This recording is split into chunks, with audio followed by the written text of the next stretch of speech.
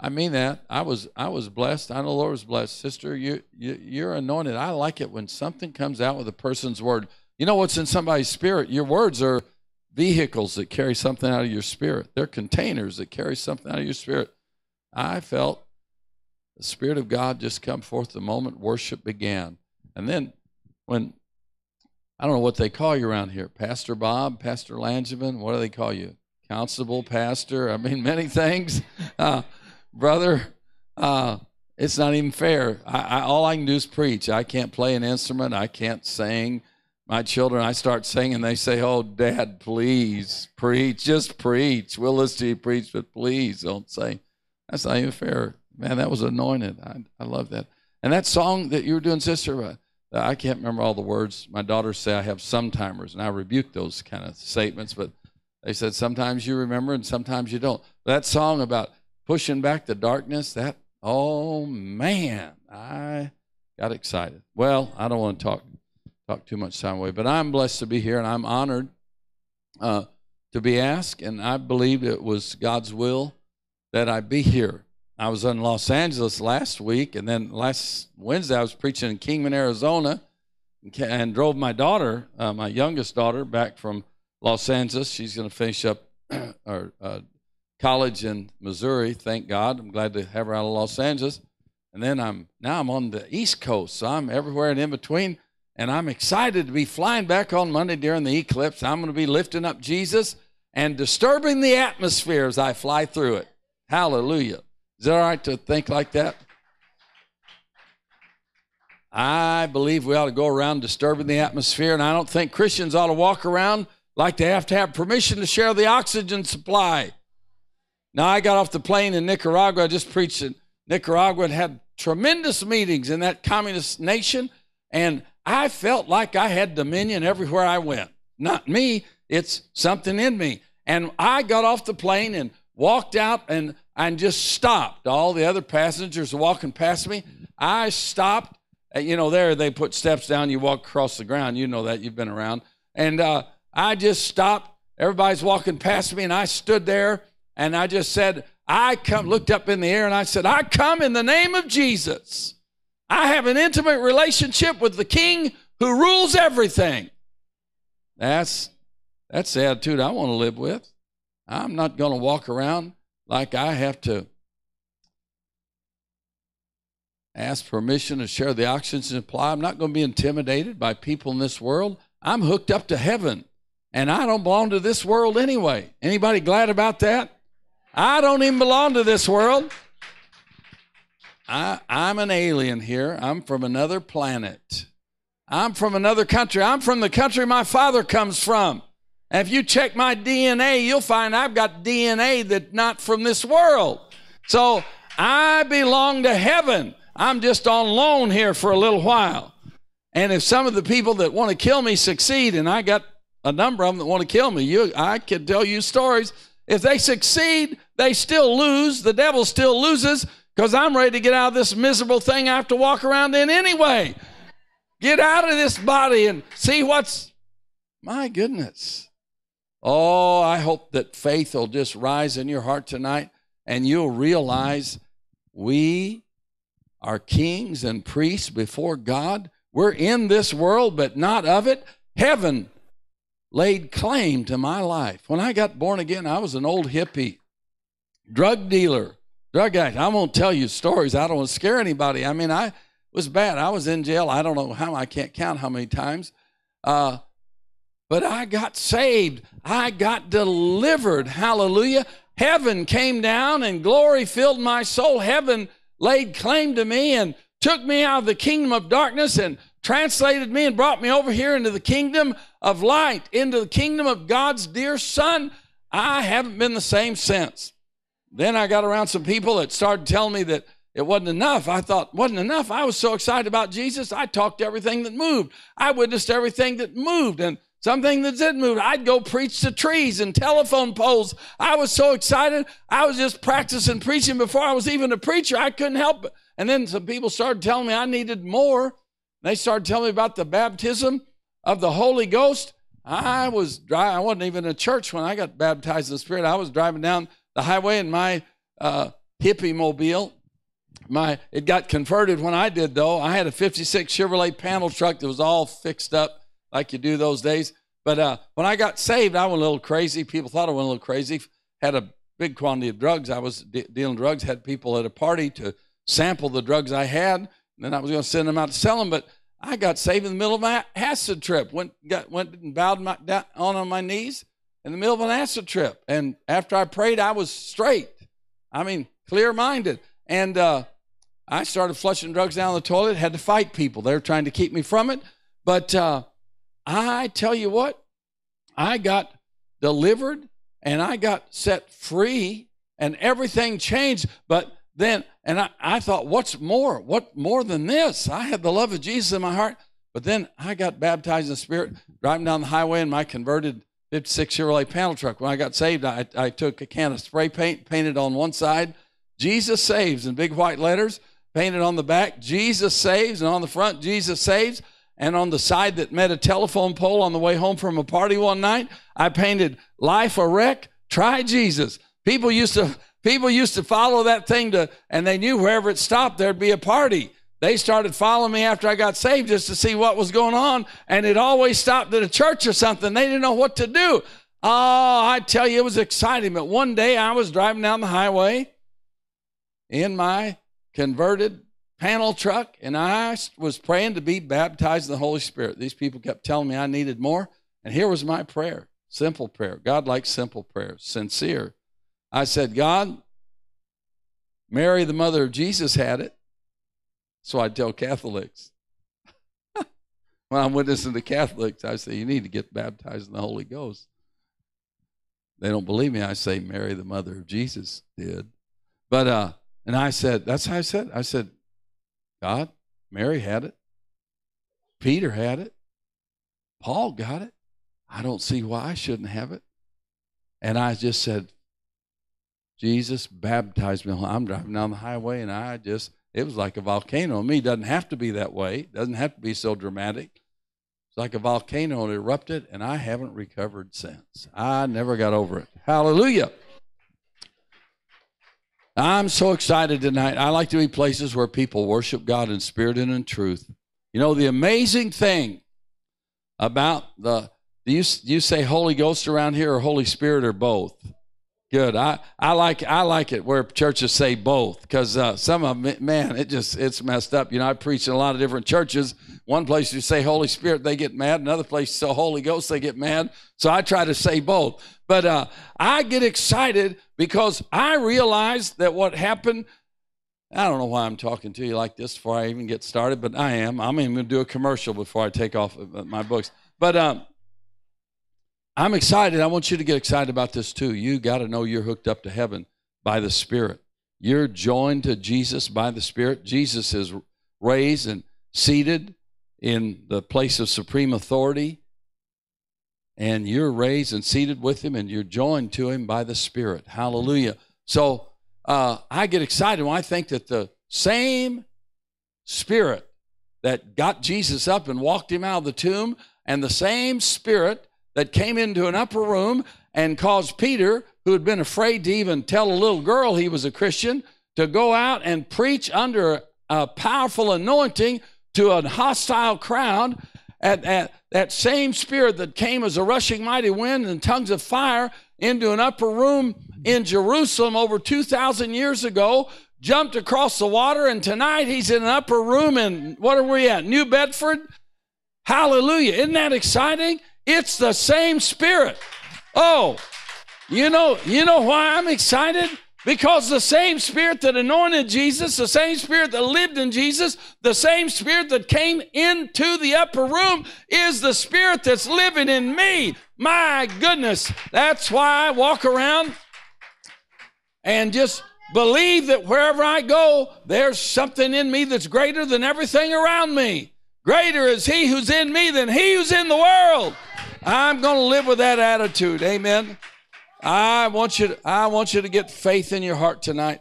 We have to rise up in faith in these days. John wrote in his epistle, chapter 5, faith is the victory that overcomes the world. Hallelujah.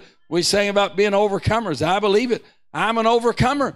the devil could kill me. He's still going to lose because all he can do is kill this body. When he does, I'm getting out of here because I'm not this body anyway. I just happen to live in it for a little while. So I want to live with that attitude. Amen. Well, praise the Lord. That is all for free. Let me do a quick commercial about my books. I hope you buy these. I don't want to carry them back home, and uh, there's not a lot of people, so buy some to give away. I'm going to give you the Pastor Bob Langevin special tonight. You can go, these are published by Creation House. I have several others, but these are uh, three of the latest. And uh, you can buy them from Creation House or Barnes and Noble and ChristianBook.com, a lot of other places.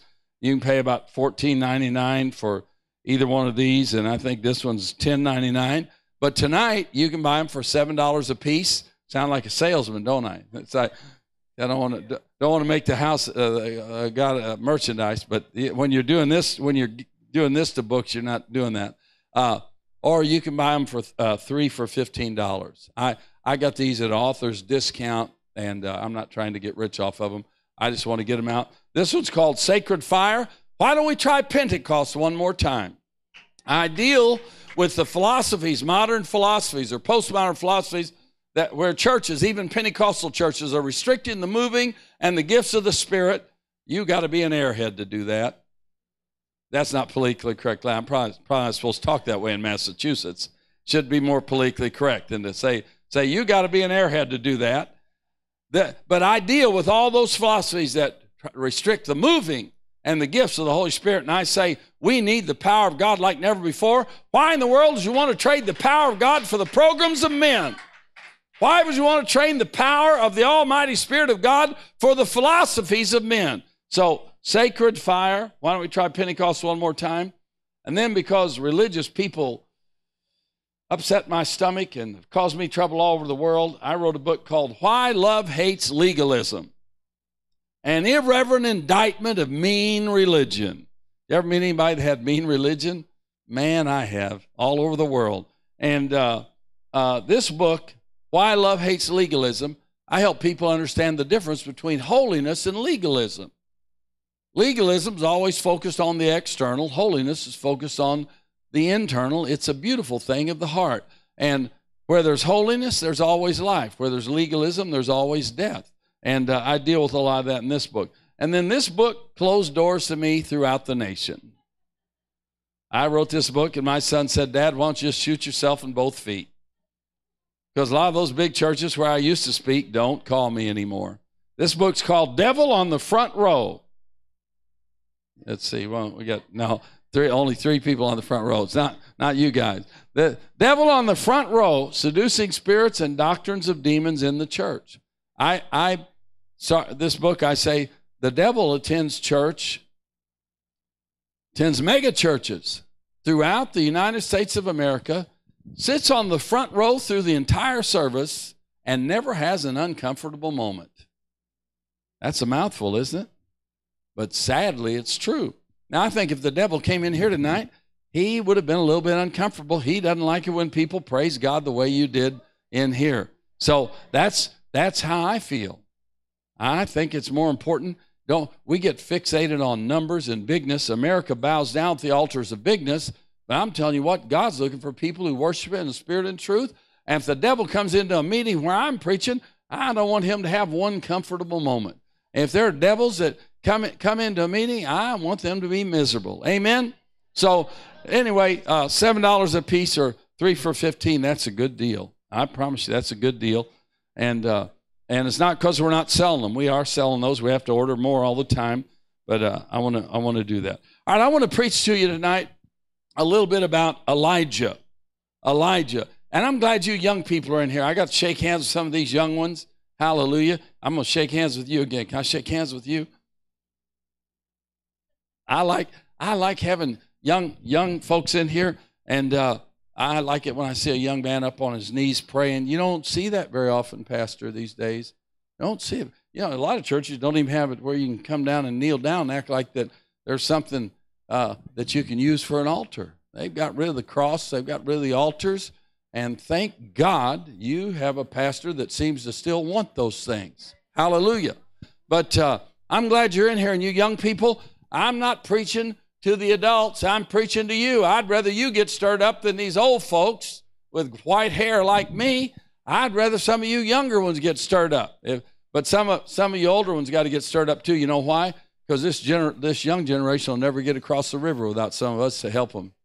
So not, every, not all of them realize that. But uh, I'm glad you're in here. I want to talk about Elijah. Elijah just comes on the scene out of nowhere. In 1 Kings chapter 17, he just shows up and it says, Elijah the Tishbite. Man, just saying that name, I think, man, I bet he was bad to the bone. Tishbite. How would you like to have a name? I wish my last name was Tishbite instead of Sutton. Who are you? I'm evangelist Tishbite. What do you think of that? All right, man, I don't want any trouble. Elijah the Tishbite, he just comes out of nowhere and he comes on the scene. And he shuts up the heaven for three and a half years because there's wickedness in the land. That, that Ahab and Jezebel are in the palace, and false prophets are everywhere, and wickedness is being committed throughout the nation. And when God gets ready to deal with it, what does he do? He doesn't look for a bunch of politicians to sit down and and try to figure out what to do, he finds a preacher. God always finds a man or a woman of God who'll speak the word and then God acts. All God ever needed was a preacher. All God ever needed was a preacher. And Elijah the Tishbite came on the scene and in the midst of the darkness, in the midst of the evil, surrounded by false prophets, a crazy king who was trying to hunt him down like a dog, he wanted him dead. Elijah stood up and he said, Because of all the sin and all the wickedness, the heavens are going to be shut up for three and a half years. There's not going to be rain or dew on the earth for three and a half years. And then he took off. Ahab and Jezebel were killing the true prophets of God. And they're doing that in other nations. I've been in nations where they're doing that. They'll probably be trying to do that in the United States of America before long. I don't have any illusions, but God can hide me if He wants to, or He can take me to heaven. I just soon get to heaven, but if He's got something for me to do, I'll stay around. But Elijah comes in the midst of that kind of a situation and begins speaking. And uh, to the king with all the false prophets, everything going on. Elijah says God's going to deal with this wickedness and there's not going to be rain for three and a half years. And then Elijah takes off and he ended up over by a brook called Cherith. You remember that story? And uh, he was there at that brook for a long time. And it says ravens were bringing him food every day. Isn't that amazing? Uh, ravens aren't usually that friendly and they don't carry food to people. But God commanded the ravens to bring Elijah food. But then one day the brook dried up. Did you ever have that happen? You had a nice place and everything was flowing and there was provision and then it just dried up. It's hard. It's hard, isn't it? I've been there. It's tough. I mean, a lot of people are facing tough times.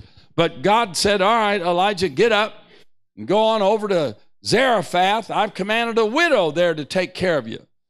Elijah, you know, he was a prosperity preacher. You can tell because God sent him to a big mansion to live and hang out till it was time to come out and speak another word. No, he didn't. He sent him to a widow's house. And he lived in a little loft in the widow's house. Isn't that something? Anybody think Elijah was a man of faith? I think he had some faith. But he was living in a little loft in a widow's house, and he didn't trip over it. He didn't get upset about it. And the widow, when he got there, she didn't have anything. He asked for a little little cake, and she said, "We don't have anything. All we have is a little bit of meal, a little bit of oil. We're gonna fix a little cake. We're gonna, my son and I, we're gonna eat it. and We're gonna die. Isn't that a great attitude to have? We're gonna eat it. We're gonna die. Real attitude of faith, wasn't it? And so, what does Elijah do? It sounds just like a preacher. He said, "Make me a cake first. She just told him it's the last cake.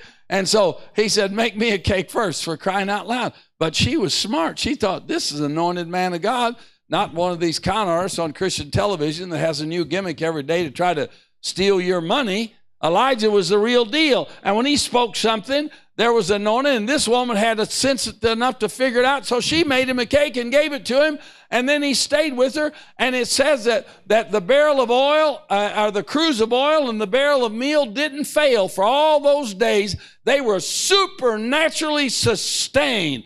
The miracle was in the house. You probably may have heard that message. Sometimes you think you don't have anything. You don't think there's any hope. And all the while, the miracle is in the house. We're looking for some big thing to come from somewhere, and all the while, the miracle's in the house. It could be in the house right here tonight. There might be more here than you realize. In fact, you could take a little and put it in God's hands, and a little can become a lot. And this crowd could become a bigger crowd. And this building could have to become a bigger building. In fact, if God moves like I believe He's going to move in these last days, there's going to be another revival. There's going to be a great revival. I believe it's going to be in the midst of judgment. But it's gonna it's gonna break out, and I believe it's gonna become it's gonna come to pastors like Pastor Robert Landsman and churches where God is worshiped in spirit and truth. And some of those that think they got it going on and think they got it figured out are going to be scratching their heads saying what happened because the real power and the real Holy Ghost is going to stand up in churches like this. Oh, hallelujah. I believe that because I believe the Bible. I believe the Bible. You can listen to all these brilliant men and the superstars of religion if you want to that have it all figured out, or you can read the Bible and believe the Bible. Well, I look for a hero. I don't look on Christian television. I find a profile of a preacher in the Bible, and Elijah is one of my heroes. Oh, hallelujah. I believe revival's coming. But Elijah, I'm just telling this story, he stayed there at the widow's house for three and a half years. What do you think he was doing? I mean, the false prophets, they're living in prosperity, man. They're feasting, if you know the story, they're feasting in the palace. They're sitting down at Jezebel's table. Jezebel had everything going her way. 850 false prophets, popular preachers, telling everybody how wonderful they were and how wonderful their life was going to be. Tell them, tell them every day can be a Friday. I mean, they were just saying, "Oh, it's wonderful! it's just all wonderful," and uh, they were popular. And crowds were flocking to them. Elijah couldn't hardly get anybody to come listen to him. But there are false prophets, and the crowds are flocking to him, and they're sitting down at the queen's table, feasting in the palace. They were the prosperity preachers of Elijah's day. Now, I don't have anything against prosperity. I plan on I have prospered.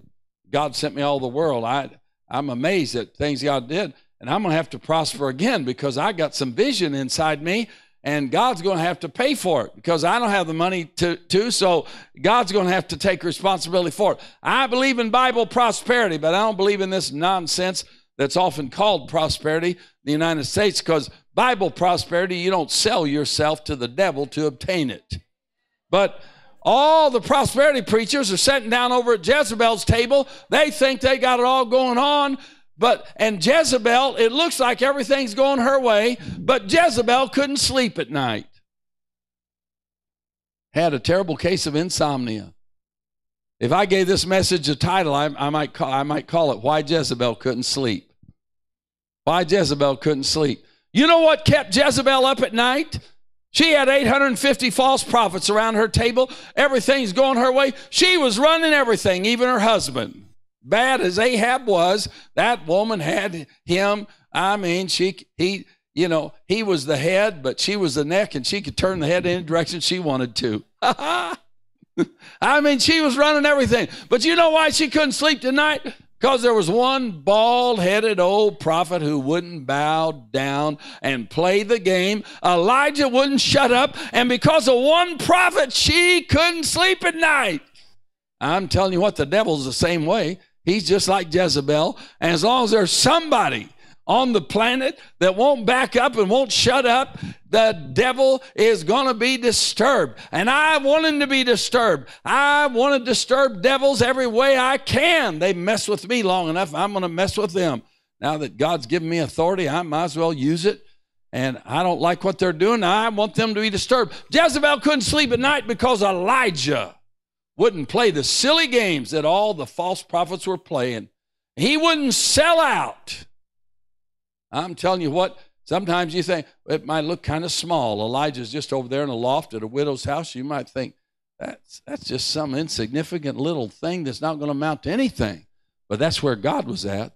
That's where God was at. That's where the anointing was at. then Obadiah, there were a few faithful prophets. A man named Obadiah, who was an official in the king's palace, hid 50 prophets in one cave, cave and 50 prophets in another cave. They didn't kill all the real ones.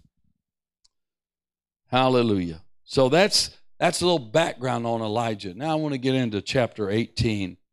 And uh, Elijah comes out. When he came out, I mean, he was there three and a half years. What do you think he was doing that three and a half years? They were probably eating that meal every day, but they probably grew a few vegetables and did a few things. But Isaiah had to stay on the down low, had to live under the radar.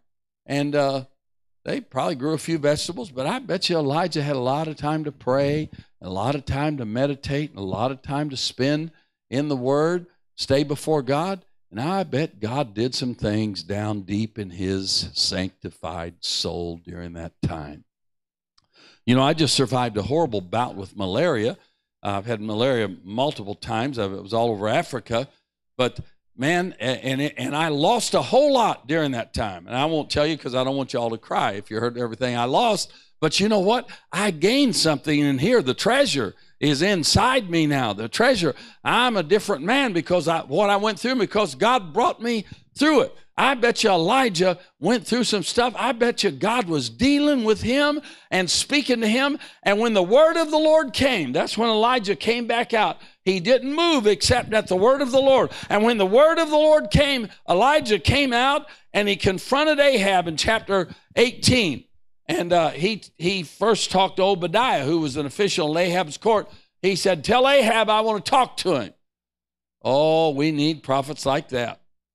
Thank God for Franklin Graham. I mean, he stood up and spoke up like a lot of preachers should have, should have, uh, not just to support uh, anybody, uh, one particular person, but to stand for righteousness. And he's still doing today. We need some prophets who do that. Elijah went right to the king and told the king, You're the one who's troubling Israel. And he said, Now here's what I want you to do. He went and talked to the king. Man, I'd like to have an opportunity like that. God, I want to be able to get me to the place where I can walk up to a king and say, Hey, get all the false prophets and get them up to the mountain, Mount Carmel. Get all of them. 450 prophets of Baal and 400 prophets of the Grove, all 850 of them, get them up to Mount Carmel. And we're going to see who God really is. That's where uh, chapter 18 begins. And uh, Ahab did it, got all those false prophets up there. was 850 to 1. what about them odds? what about those odds? 850 to 1. It's the gunfight at the OK Corral, man. It's going to be bad on Mount Carmel. And there's one bald headed old prophet that's challenging all 850 of them at the same time. People think he's lost his mind. He's been out in the sun too long. That bald head's just been cooked. He, his brain's been fried. They're thinking, this man's crazy. He's challenging 850, and there's only one of him.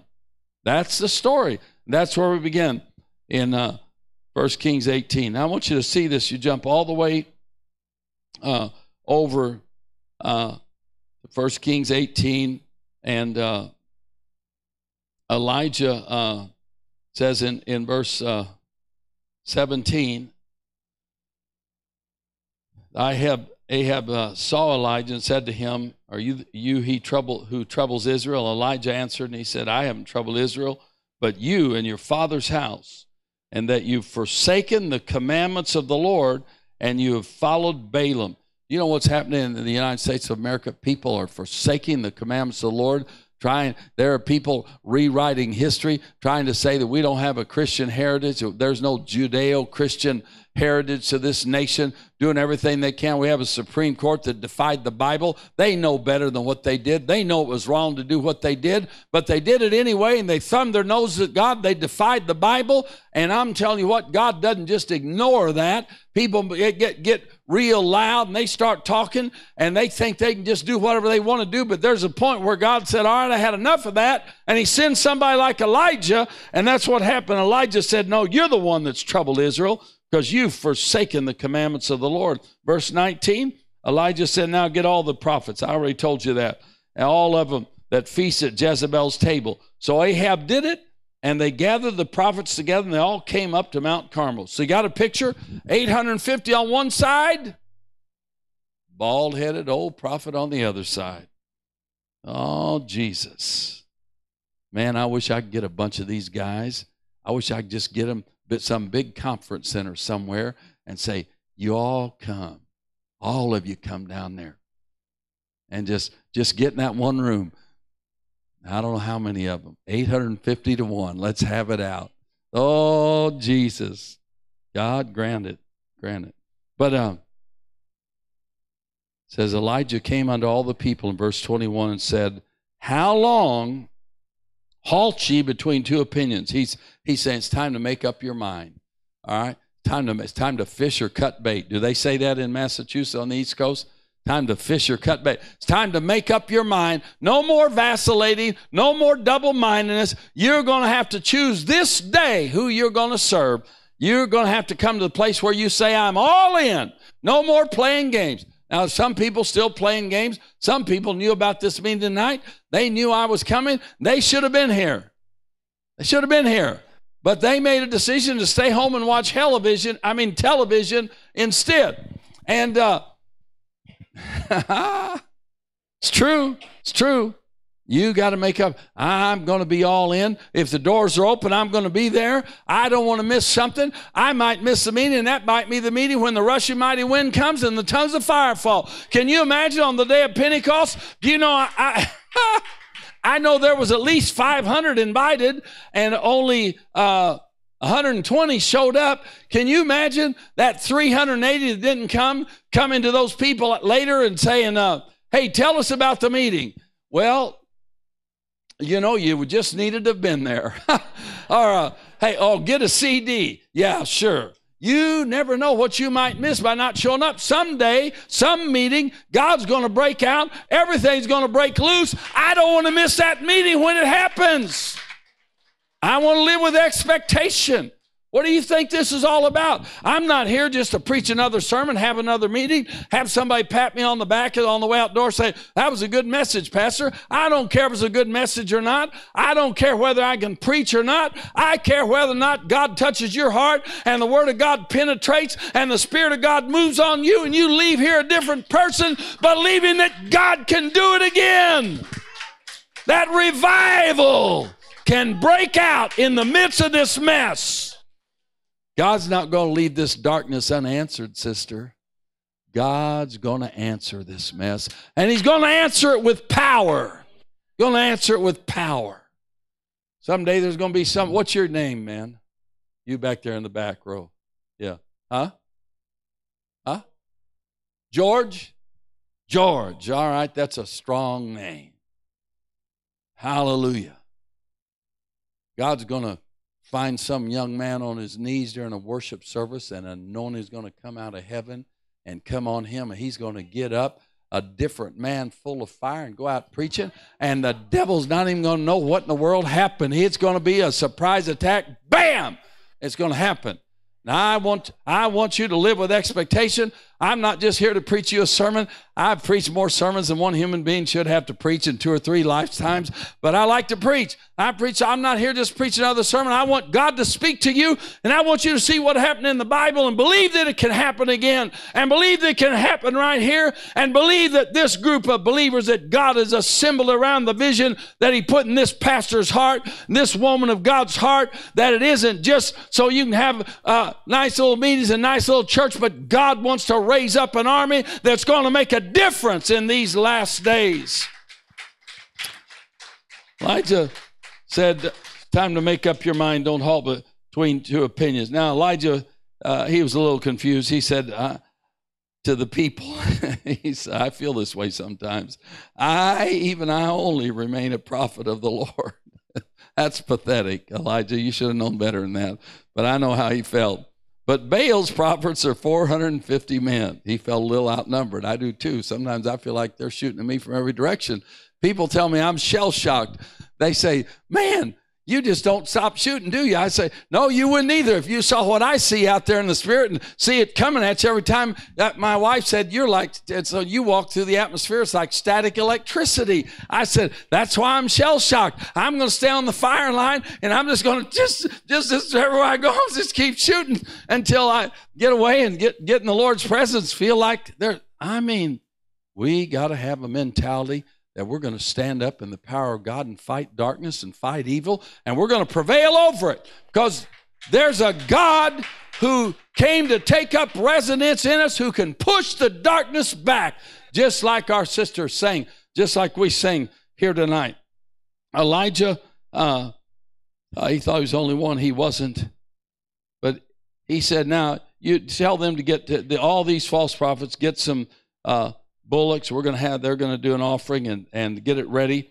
And he said, put wood uh, on the altar, but don't put any fire under it. You know why he said don't put any fire under it? Because there were prophets back then, just like what we have today. They were using all kinds of tricks and lying signs and wonders to fool people.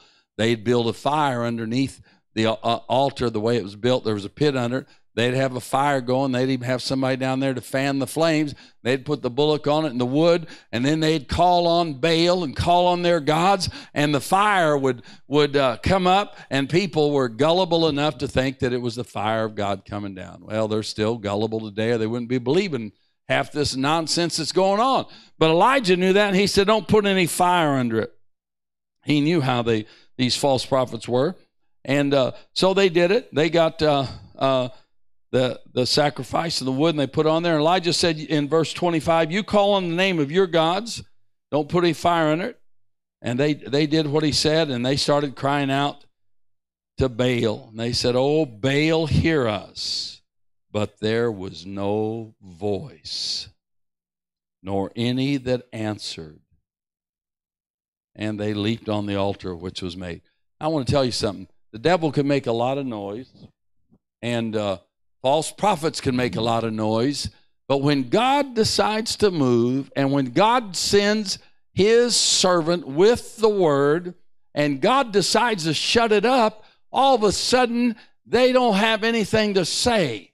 All of a sudden everything's different in a moment. And so they're crying and crying and crying, but now nothing's moving. There's no voice. And Elijah uh, watched them. They got so desperate, they're screaming and shouting, crying aloud, and Elijah starts mocking them.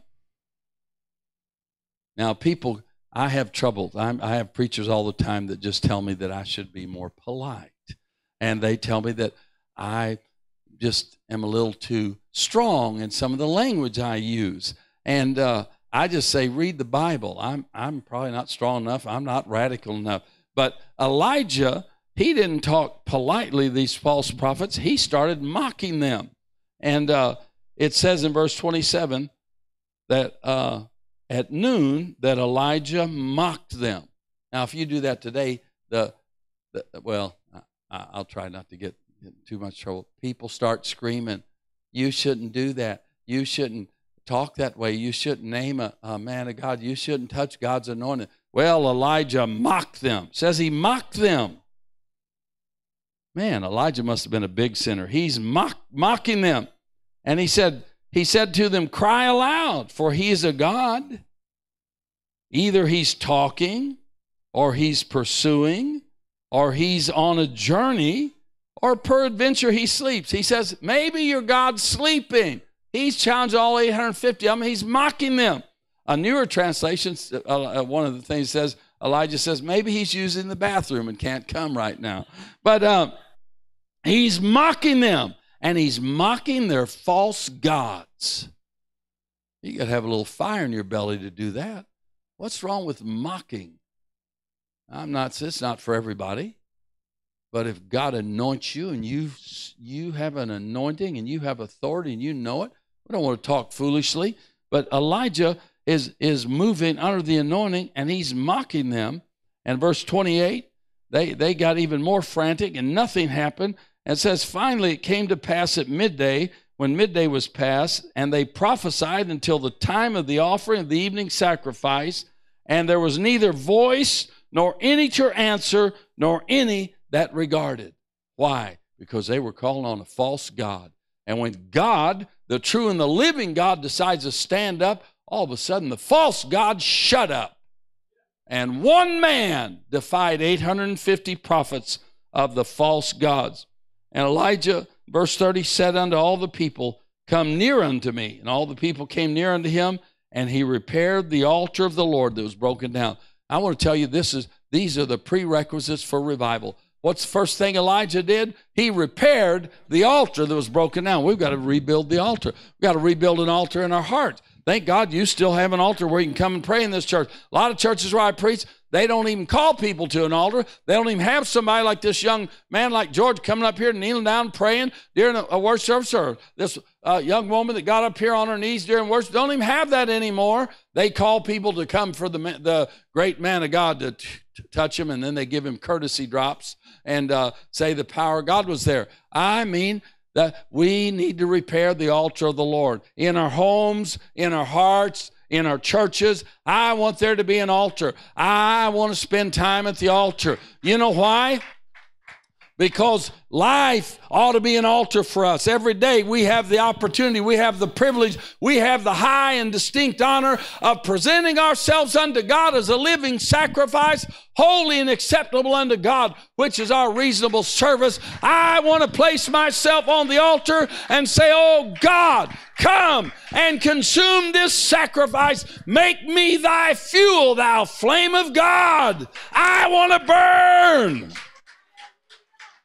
I want to be like the burning bush that Moses saw. I want to burn and not burn up. I'm 67 years old. I've been been th- through a little, but my daughters think I look older than that. They try to get me to use just for men. I say I'm not going to do it. Malaria turned my hair white, but it's really them that gave me the gray hair I have. So, but uh, I, I tell people I'm not old. I just been around a long time. But uh, I want to get stirred up. I want God to renew my youth, and I want to burn, but not burn up. I want to stay here till the battle's over. I tell people, go ahead and check out early if you want to. I ask God permission. If if the, the rapture takes place, if I can stay and fight, I'll stay here and fight. Just, uh, just uh, anoint me and use me. I'm telling you what, I want to burn and not burn up. I want the fire of God to consume me. Elijah said, You got to repair the altar of the Lord that's broken down. It's first prerequisite to revival. Every great revival that's ever swept this nation begins with prayer. If you want true revival, you want to break out in this church, you want to break out in this region, you want to spread, it has to begin with prayer and it has to be sustained with prayer. That's why the these so-called movements that people call revival they're not revivals at all. They center around one man and uh, they're not sustained by prayer. I know they haven't been revivals because of the, the lack of emphasis on prayer Every great revival in history, there's always prayer. There's always people that get stirred up to pray. And they begin praying, it becomes spontaneous. Pretty soon, more people are praying, more people are praying. And when you get enough people praying, God can't help himself. He comes in power and revival breaks out. I believe it's going to happen again. I believe it's going to happen again. Elijah repaired the altar of the Lord that was broken down. Verse 21, he took 12 stones, according to the number of the tribes of Israel's, and uh, and uh, they built the altar. And so with the stones, he, he built the altar. In verse 32, he put wood in order on the altar, got it all ready. And then Elijah, just so he could let everybody know this isn't any of the silly games that the false prophets are praying, playing, he got water. He had him pour water on the wood and on the sacrifice and the pit around the altar. He had him bring water, and there wasn't much water in the land. That hadn't rained for three and a half years. They're saying, "Look at he's wasting all that water." But what he was, he filled up the pit with water. What was he doing? He was showing them if fire comes here, it's going to be a miracle. It's going to be because God shows up, not any of this foolishness or lying signs and wonders. It's going to be God. So he put water uh, all over it, ran everywhere. And it says at verse 36 it came to pass at the time of the offering of the evening sacrifice that Elijah the prophet came near and said, Lord God of Abraham, Isaac, and Israel. Oh, that's a good way to pray. Let it be known this day that thou art God in Israel, and that I am thy servant, and that I've done all these things at thy word. Oh, that's how God wants us to operate, to walk in the Spirit and move in obedience to his word.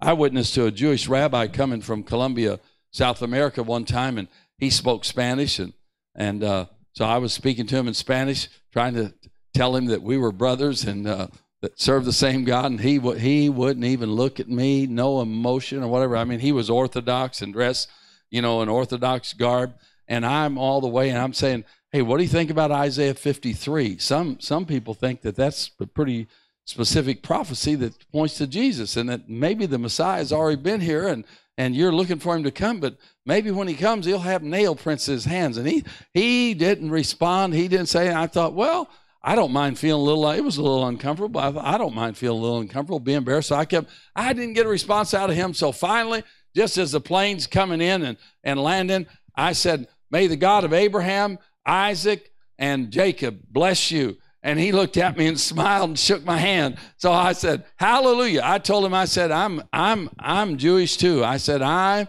an heir of God because of Abraham. I got in on the covenant and uh, talked to him. But Elijah prayed and he said, the, the Lord God of Abraham, Isaac, and Israel. And he prayed.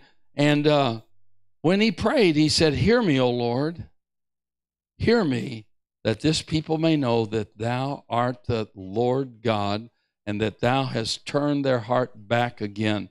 Then the fire of the Lord fell Man, could it happen again? Could it happen again? Shouldn't we be believing that if it happened here in the Bible and we're reading about it, shouldn't we be believing that it could happen again? If what happened in the upper room happened as the church, the inception of the church, shouldn't we be, be believing that we can have upper room experiences today? It can happen again. Let's believe God. It can happen again. Hallelujah. I better hurry up here because some of you look at me like he could preach all night. You're right. You're right, but I won't. Listen, uh, the fire of the Lord fell, and when all the people saw it, they fell on their faces. They said, The Lord, He is God. The Lord, He is the God, the one and only God, the true and living God. Verse 40 Elijah said unto them, Take the prophets of Baal, let not one of them escape. And they took them, and Elijah brought them down to the brook of Kishon and slew them there. Man, gentle Jesus. That might be a myth, you know. Elijah said unto Ahab, Get thee up, eat and drink. There's a sound of abundance of rain. Whenever there's revival, first there's prayer, and then there's repentance. People repented. The fire of God fell. People repented. When revival breaks out, the fear of God will be restored, and there'll be true repentance and dramatic conversion. Why, some of the most famous preachers in America don't even know how to say the word repent don't even know how to say the word sin. It's not in their vocabulary. It's pathetic. It's not, they're not preachers. They're motivational speakers. They're not preachers. If you can't say sin and repent, and if you can't preach the whole counsel of God, you're not a preacher. You're just a motivational speaker. Uh, they repented here, and when they repented, the fire of God fell, and the revival was on. And then Elijah said to turn and and, uh, said to Ahab, you better get out of here, for there's a sound of abundance of rain. I like to tell people, you know, that when you're in the spirit, you're praying, you hear things that other people don't hear. You hear them before other people hear them. You, you hear something, you say, that sounds like revival. It's coming. It's going to happen again. I'm going to live with expectation. Revival's going to break out. I'm not just going to keep knocking it out and going through it week after week. I'm not going to just keep doing uh, whatever has to be done. I'm going to live with expectation. The revival's going to break out. When it breaks out, it's going to pick me up and throw me out there, and I'm going to run. Power, the power of God moving. He, uh, said, I hear the sound of abundance of rain. People of faith hear things other people don't hear. Ahab went up to eat and to drink, and Elijah went up to the top of Carmel, and he cast himself down on the earth and put his face between his knees. Some people say he got in a spiritual birthing position. That's how the women of Israel, uh, when they gave birth, they didn't lay down on a bed. They they uh, got in a position just like Elijah. He put his face in his knees and he's crying out to God. He's travailing. What's he crying crying out for? What's he praying about?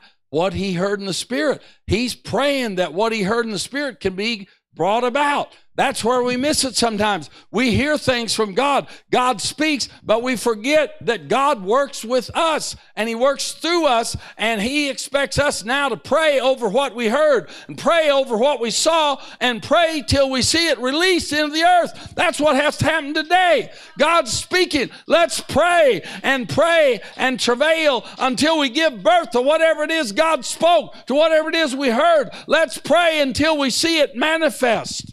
That's what Elijah did. He started praying. Why? He wanted to give birth to the vision. He wanted to give birth to what he heard. He heard the sound of abundance of rain. He wanted to give birth to it. Elijah went up. What was he doing? He was praying. He was praying. Verse 43 And he said to his servant, Go up now toward the sea. And he went up and looked and said, There's nothing. And he said, Go again seven times. Now you've maybe heard this story. Elijah's servant represents faith. Elijah sending his faith out to look for something, came back empty handed. That ever happened to you? Is it just me? You ever send your faith out? It came back empty handed? Did you ever get a little discouraged? You ever wonder if God was still in the neighborhood? You ever wonder if he forgot your address? He hasn't. Elijah sent his servant out, and his servant came back. He said, There's nothing. What was Elijah looking for? He's looking for a cloud. He was looking for what he heard. When you hear something in the Spirit, don't just say, Okay, well, it's going to happen. Say, Hey, I'm going to pray over this till it happens. I'm going to pray this thing into being. What I heard in the Spirit, I'm going to reach out in prayer and take hold of it. I'm going to bring it into this realm. I'm going to release it in this realm. How do you do that? You reach into the realm of the Spirit by faith and you pull it down with prayer and you turn it loose on the earth. Oh, God, help us to pray and to realize how significant prayer really is. I'm going to tell you, you can sit around here and think you're insignificant if you want to because you're just in a small building, a small group of people, or you could wake up and realize that there's more going on here than there is in a lot of mega churches all over the country that appear to have it all going on because there's some people worshiping God in spirit and truth and praying and expecting God to move. And there's a preacher here who hadn't sold out like so many have and haven't hasn't compromised and compromised and compromised till there's nothing left. You hold on to the truth and you pray. At some point, God's going to show up. And the revival's going to be on. Amen. And uh, he said, there, Elijah, he saw the abundance of rain. He went up to prayed, and then he sent his servant out. He came back seven times. He, he said, There's nothing. Can you imagine that? The servant comes back, says, Go look again. He comes back, he says, Go look again. I think about the sixth time the servant said, Elijah, come on. It's been a good day, man. Let's just go home. I'm tired. I mean, look, this is a long meeting, Elijah. We came out here early this morning. It's been all day long now, it's enough. It's enough. Look, you called fire down from heaven for crying out loud. You can go home and feel okay about yourself. That was a good sermon you preached. Fire fell. That was anointed prayer you prayed. Fire fell. I bet his servant saying, Come on, Elijah, let's go home. Elijah says, You go look again. He wouldn't give up. I like that kind of persistence. That's what we're going to have to have we want to see God move in these last days. Persistence. Persistence in prayer. I will not quit. I will not turn back. I'm not going to give up. I'm going to keep praying till I see the power of God released in the earth. Forward ever, backward never. I'm coming through in Jesus' name. You can't stop me. That's the attitude Elijah had. Go out and look again. Servants thought, Elijah, you've been out in the sun too long, man. You should have put a cap on been out in the sun too long. Let's go home. Elijah said, Go look again. And look what happened here. This, this is what can happen to people who pray with faith in their heart. Verse 44 It came to pass at the seventh time that he said, Behold, there arises a little cloud out of the sea, like a man's hand. Can you imagine sending your faith out over and over again? Then when you finally get the report, what's the servant? He's saying, Elijah, the sky's blue. There's not a cloud in the sky. I saw one little thing out there that looks like a cloud. It's no bigger than a man's hand. Man, that's enough to be discouraged over. All that prayer and all that faith and all you can produce is a cloud the size of a man's hand. It's time for Elijah just to go home discouraged. But look what he does. He got the report of that little cloud. What's he looking for? He's looking for a rain. He's looking for a thunderstorm. He's looking for a torrential downpour. And he sees it in a tiny little cloud. Isn't it amazing what faith can do? Faith can look at something that seems small and insignificant and see a thunderstorm in a tiny little cloud. And Elijah said, uh, Go up, say unto Ahab, prepare your chariot and get down that the rain stop thee not. And it came to pass in the meantime that the heaven was black with clouds and wind, and there was a great rain. And Ahab rode and went to Jezreel, and the hand of the Lord was on Elijah, and he girded up his loins and ran before Ahab to the entrance of Israel. He outran the chariot. What in the world? Why did he get so excited? He got excited while it was still small. I want to uh, try to end this tonight by challenging you to get excited while it's still small. Get excited while it, uh, it still seems insignificant. Get excited while people think nothing's really going on. And you see that little thing, speak to it, pray over it, keep praying, and believe that great things can come out of little things, that big things can come out of little things, that God can do greater things greater than we've ever imagined. My son, if you could hear him, he's a preaching machine. He could preach circles around me. He would have had you stirred up and on your feet and jumping and shouting and everything else tonight. He's a preacher. And, uh, but you know what? And he's a big now. He's bigger than I am. But you know what? One time he was a little bitty thing, but I had faith that God was going to do something that little thing. I used to go lay hands on my wife's belly and I'd say, Hey, you little prophet. And uh, I'd sing to him. I don't know if that helped him or not, but I'd sing to him and I'd preach to him and I'd prophesy to him. Now he's been all over the world preaching the gospel, and people everywhere, once they hear him, they don't want to hear me anymore. But he used to be a little bitty thing. Now he's bigger than I am, and he preaches the gospel in power. Don't ever forget that there's great potential of what seems to be a small thing now, I want to challenge you. Go and stand up so I can finish here tonight. I want to challenge you to believe tonight. Oh, God can move by His Spirit. God can do it again. God can move on you and God can use you. God has greater things in store for this church. I know He does. I'm not just talking. I know He does. But you be faithful. In the meantime, I, Elijah was over there three and a half years praying and praying, waiting at the widow's house. But there was a time, there was a point after the praying, after the humbling himself, crying out to God, that the word of the Lord came. And when the word of the Lord came and Elijah went out in obedience to the word, that's when everything broke loose. Fire came out of heaven. My God, let's rise up as the people of God. I'm not going to give this nation to the devil. I'm not going to give the devil one square inch of my real estate. I'm not going to lay down for the devil. I'm not going to roll over and play dead. I'm going to proclaim that Jesus is Lord. They just they I just had to, I, I just had some threats. They threatened to lock me up. I got threatening letters from lawyers. I said, Go ahead and lock me up. I begged them to arrest me. I said, I'll preach going into jail. I'll preach once I'm there. I'll sing praises at midnight. I'll preach coming out, and I'll make sure there's reporters and cameras when I come out so I can tell them what went on here. My God, let's stand up in the midst of this darkness. Let's defy the darkness and believe that the light of Jesus in us is greater than the darkness. Don't you don't you wait around till you feel strong enough or you feel like you're qualified enough. You're qualified right now. I tell you what, if you're weak, and you're the devil may beat you half to death. Your brain may be traumatized. Mine was. You may be under more pressure than anybody knows. You may be under so much stress you don't know what you're going to do. And the devil will come to you at those moments and he'll say, You're too weak to even fight. The devil is a liar. When you're weak, when you're weak, his strength can be made perfect in your weakness.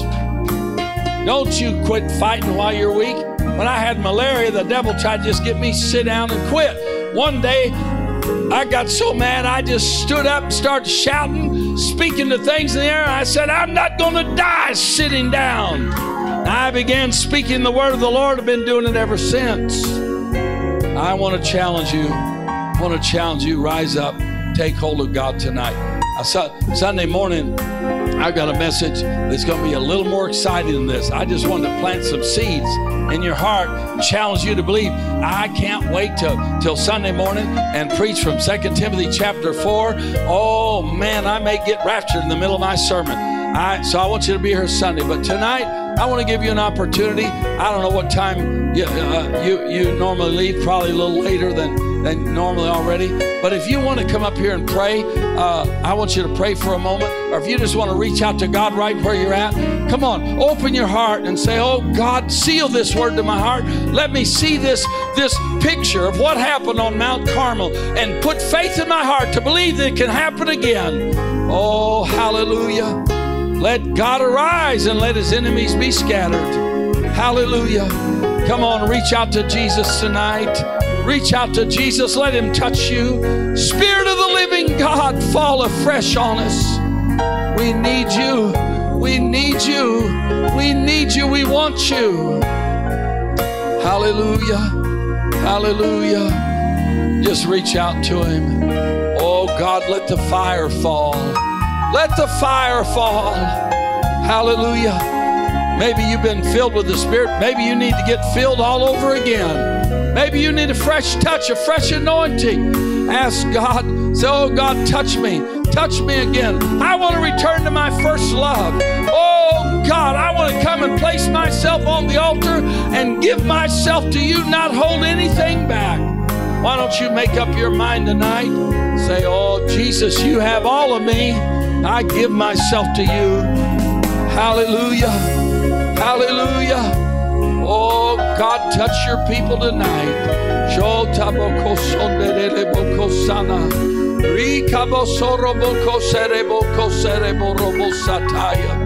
Hallelujah. Come on, reach out to him.